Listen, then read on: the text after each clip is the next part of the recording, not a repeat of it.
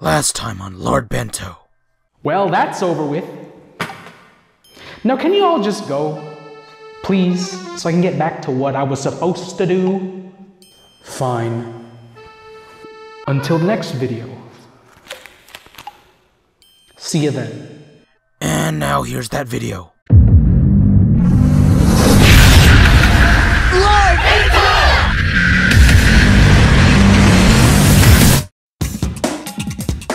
DreamWorks, an animation company to rival such juggernauts in the film industry like Disney, Warner Bros., and Sony Pictures Animation. Birthed from one of the former Disney chairmen who brought us such classics as Beauty and the Beast, Aladdin, and The Lion King. No, not those ones. DreamWorks has quite the resume of making pretty damn good movies that cover many different types of stories. You got Madagascar, How to Train Your Dragon, The Road to El Dorado, The Prince of Egypt, that one Captain Underpants movie, and Ants! Fucking Ants! And of course, everybody's favorite Shark Tale. However, there was one movie in particular that caught my attention the most growing up, and that movie was Kung Fu Panda. Considering it was made by DreamWorks, an American animation studio, Kung Fu Panda was a unique take on the martial arts narrative, specifically the wuxia genre. From the characters and setting to the story and the fight scenes, it's clear to see that the film's overall concept and direction was inspired by the likes of Kung Fu Hustle, Hero, and even Crouching Tiger, Hidden Dragon. In most of these films, you have two main things that they all have in common martial artists and ancient China. The story usually follows as so. The martial artist goes on a journey throughout ancient China to find and defeat another martial artist who's a strong rival, usually someone who's killed their family member, or is generally just one bad mother hubber.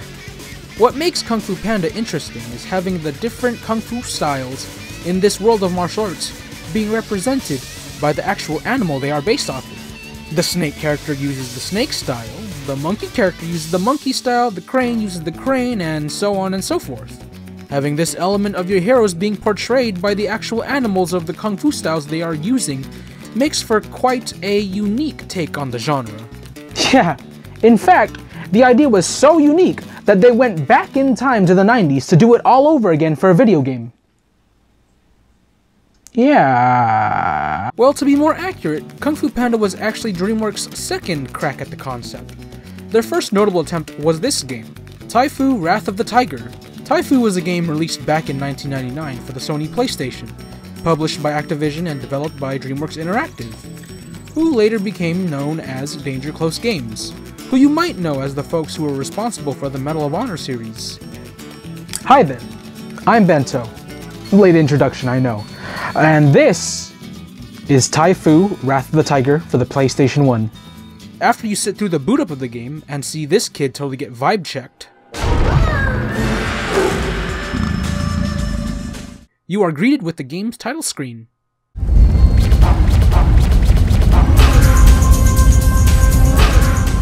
Well, I'd like to say that, but instead of a greeting, it's more of a yelling out of fucking nowhere. T'ai Fu is an action beat 'em up game set in a fictionalized version of ancient China, where all the characters are animals. You play as the titular T'ai Fu, an anthropomorphic tiger who is the last of his kind, following him along as he goes on a journey to defeat the evil Dragon Master and put a stop to his corrupt reign. The game begins as the Dragon Master and his snake army infiltrate a Panda Clan temple in search of Tai so they can kill him. After cleaving through Panda from Tekken over here, they finally find Tai, and the Dragon Master just kicks the shit out of him and zaps him with lightning, I think, and leaves him for dead. After coming to, Tai wakes up to all the destruction that the Dragon Master had left behind, with the temple in ruins and several panda monks being slaughtered. Feeling responsible for what had happened, he vows that he will defeat the Dragon Master and make him answer for the important question of why? Why me? Taking the wise advice of Not Po, Tai sets off on his journey to defeat the Dragon Master, visiting the other masters of the other clans to find clues as to why the Dragon Master wanted him dead, and to learn more about his own seemingly forgotten past. As far as the story is presented in this cutscene, it's pretty simplistic. Some guy kicked your butt. Why? I don't know. Figure it out over there and kick his ass. I'm pretty sure the game has some more lore info in its manual, just like the other games in this generation of games. But you know, I don't have that shit. Because I'm a dumbass. As stated before, T'ai Fu is an action game featuring beat 'em up type gameplay, similar to the likes of Final Fight and Streets of Rage, with 3D platforming. You move on a 3D plane with the camera being fixed slightly angled from the top looking down, being able to move forward, backward, up, down, and diagonally with the D-pad and analog stick. As you move along the map, the camera follows you accordingly, seemingly on rails. You also have two meters on the top of the screen to look out for. Your green health meter that monitors how much health you have left, and your blue chi meter that gets used up each time you use a special move. You got your face buttons doing different things too, with square being attack, triangle to block, circle to grab, and X to jump. Using a combination of the square and triangle buttons, you can do combos. When prompted at the top of the screen where your health gauge is, you can press the triangle button at the end of a chain of attacks from the square button to do a combo. You also got the ability to duck map to R1, taunting to R2, chi blasts to L1, and to check your status and inventory to L2. It's a relatively simple control scheme. And along with the relatively simple control scheme, you got a relatively simple game progression. As in any other beat 'em up, you fight through a bunch of bad guys in a linear fashion, getting to a goal point at the end of each level, which in this game is literally cash money. Huh. Didn't know that's what those things were called. After every level, you are brought to Tai standing on a detailed map of the land, kind of like an overworld, if you will. And each time you're brought to it, Tai moves from one location to the next, signifying progression from one level to another. Every few of these levels or so are seemingly bundled together in terms of what types of enemies appear and the location, both of which are usually related to the boss of the area. For you see, the bosses of each area half the time are one of the masters from one of the other clans. The clans being the Mantis, Leopard, Monkey, and Crane, just to name a few. The other half of the time, the bosses are the big boys of one of the lesser clans who serve the Dragon Master, such as the Snake, Rat, and Boar clans. To reach them, first you gotta deal with the respective henchmen. The Master of the Leopard clan has his own leopard lackeys, the Monkey clan's master got his own monkey minions, the Crane's got her cranelings, and yeah, yeah, yeah. And if you're not fighting any of the other clans, your main enemy mostly consists of snakes. Lots and lots of snakes. You got snakes in a forest, snakes in a jungle, snakes on a hill, snakes in a temple, snakes in a valley, and even snakes in a gauntlet. All that's missing is some snakes on a plane and we're golden, if you know what I'm saying. More often than not, snakes are mainly reserved for being the main enemy throughout the entire game, with the Rat and Boar clans swapping them out for like 3 or 4 levels, tops. The minions in every clan come in all shapes and sizes. For most of the clans, there are usually two variations. A standard brawler type that's more common, and then one special type that has a weird quirk to them. Special variants range from big ol' bruisers to projectile throwing asshats, depending on which clan you're facing. Usually there are only one or two types of special variants for each clan, so you'll never run into both a tank character and a ranged character in the same clan. However, the Snake clan actually has more than one or two special variants. They got thin snakes, snakes that have weapons, snakes that breathe fire, buff snakes that sound like Arnold Schwarzenegger, buffer snakes that sound like Arnold Schwarzenegger, and even bigger buffer snakes that sound like Arnold Schwarzenegger. As previously mentioned, you progress through the levels in a linear fashion. You get from point A to point B, beating up whoever gets in your way. Plain and simple. On your way to the goal of each level, the game will occasionally throw you a challenge section that requires you to beat up a certain number of enemies before letting you move on to the next area. Thankfully, the areas of the level you get locked to for these challenge segments aren't static and bland at all. The majority of the environments you come across through playing the game are colorful and detailed, even for a PS1 title, taking place across various locales. From bright, vibrant forests and temples, to dark, foreboding fortresses and dungeons, each level is never the same as the previous, and all are unique from each other in their own way. The music that also accompanies said stages are pretty great too, they fit with the overall atmosphere and tone of each level. bundled together with some stellar sound effects that go along with anything you do in the game. The crunching of the leaves beneath your feet as you walk on them, the sounds of the birds chirping and various other wildlife littered throughout the level, the Halo-ish energy sound effects that play every time you hold taunt and respawn after death. Bring it on!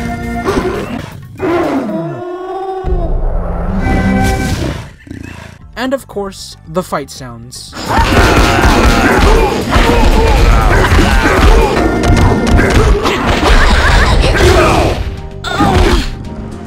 Speaking of sounds and such, the voice acting in this game is not bad at all. Yeah, I said it. There's voice acting in this game. And a bunch of it. Every single cutscene in this game is voice acted, and they're all pretty damn good, especially Tai's voice actor, John DiMaggio. These days, you might know John from his other bigger roles, such as Marcus Phoenix, Jake the Dog, and Tiny Tiger. Huh. Small world. Considering that this is one of, if not his first major role in a video game, from the battle grunts to the dialogue of the cutscenes, he was alright. Look what time spent caring for me has brought you and the temple. Leopard Clan, huh? Well, they'll never guess who's coming to dinner. Thank you, Honorable Leopard Master. My compliments to your daughter on her athletic prowess. She has quite the kung fu grip. Yeah, right. There are also several pickups and collectibles sprinkled throughout each level that help you along your journey. They aren't really unlockables or extras or anything like that, but rather are for helping you out directly, consisting of items such as health, extra lives, and even different chi powers, based on different elements and abilities, such as an energy shockwave or meteor strikes. There are also pickups for invisibility and invincibility, both of which eat away at your chi meter. Once you run out of chi meter, you lose the power up. Good for when you have plenty of chi to burn, bad for when you don't. This isn't a problem for the first couple of levels, as your chi meter is practically non-existent. You can't even use the chi blast yet. When you press L1, Tai just looks like he caught a stroke. Only when you beat the first boss, Tai will learn the basics of Chi from the Mantis Master, who grants you the use of the Chi Blast, extending your Chi meter greatly for the first time. If you use up all your Chi by either using a lot of Chi Blasts, or after a power-up's time is over, you can gain back Chi by finishing your combos off with the triangle button. You can also fully replenish it instantly with a Chi power-up pickup, although it does change the type of Chi Blast you will do when you press the Chi Blast button. Thankfully, as you progress through the game, both your health and chi meter extend after every boss fight or so, so you aren't always going to have a bad time trying to manage how much life and chi you have left every so often. Additionally, there are pieces of jade scattered around the map as collectibles. They don't really act like money to buy things from an in-game shop, but rather, they just give you an extra life if you collect 100 pieces, kinda like the Wumpa fruit in Crash Bandicoot. Alternatively, you can get an extra life if you defeat 25 jobbers, so there's that just in case. And with that, you kinda just do that over and over again until you come across a boss, which are the masters of one of the other clans themselves, or some other guy that's guarding them or something. After kicking their ass, you are then told some important information about either the past, the Dragon Master, or both, and get taught a new ability for you to use in your journey along the way. Most of them mainly offer new ways to traverse through levels.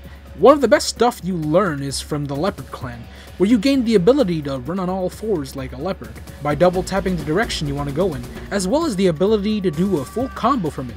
It's pretty damn useful overall. Also, the sound Tai makes when you do the combo ender from the Leopard Run is just fantastic.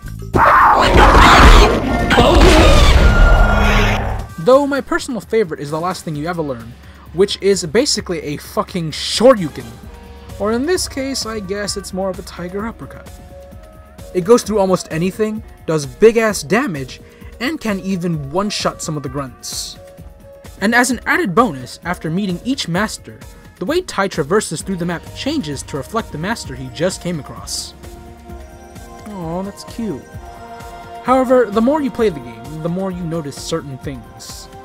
Guarding is kind of finicky, and sometimes doesn't really work. You'd be trying to guard against a boss's attack string and then still get hit. What's the point of even blocking when you still take damage as if you didn't block? In addition, the hit detection in this game is weird. Sometimes you can hit the enemy, sometimes you can't and you whiff, So the combo you were trying to do drops and you gotta do the whole string all over again. But it's alright, because it doesn't really matter if you drop it or not. You can just mash out your combos until they connect, and the AI will still let it happen. In fact, his basic combo structure is so good that you can play most of the story through without utilizing any of the new offensive strategies and techniques that the other masters give you. If you just mash out square into triangle, you'll win like 95% of your fights. And remember when I said how the game has platforming? Well, while the first quarter or so of the game doesn't have much in that front, after the first boss, platforming starts to become more of a thing to do, with it reaching its highest point as soon as you hit the halfway point of the game. And it stays high. Y- you know, I'm a big fan of platformers myself. I'm just not a big fan of platforms that have the collision detection of a needle tip that's coated with butter. You have to land dead fucking center of the platform, or else you'll slip right off and fall. Sometimes you don't even have to be platforming to just slip off and fucking die.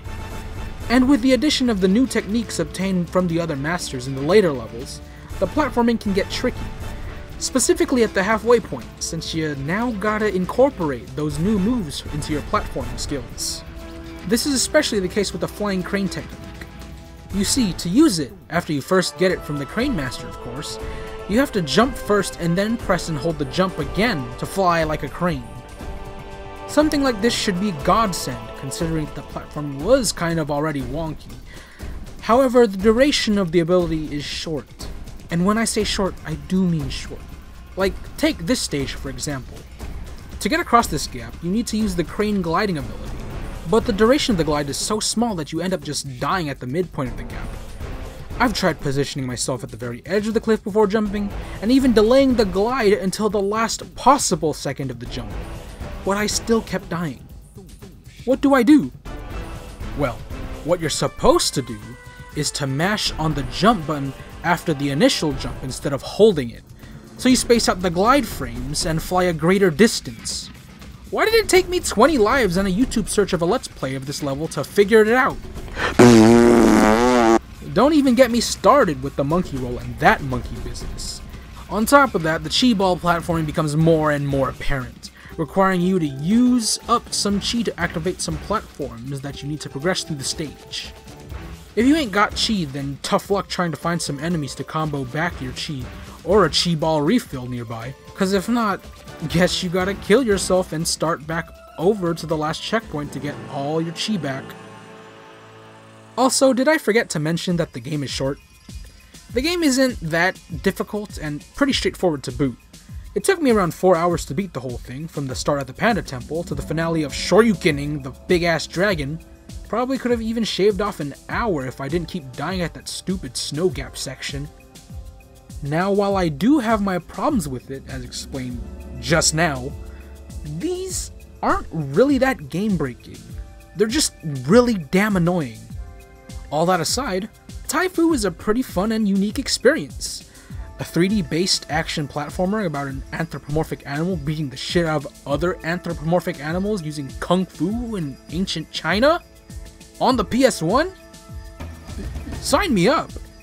Easy to pick up controls, a colorful cast of characters and scenery, and a pretty sound story that's told through voice acted cutscenes make for an easy recommendation from me. Sure, it's not perfect, but it's not an awful game either. In fact, I'd go far as to say that this is a hidden gem on the PS1. Play this game if you haven't already. Anyways, I hope you all enjoyed today's video. Uh, I was hoping to cover this game first before Kensei, but things happen, so yeah. Anyways, I want to thank you all for watching, and until the next video, I'll see you then.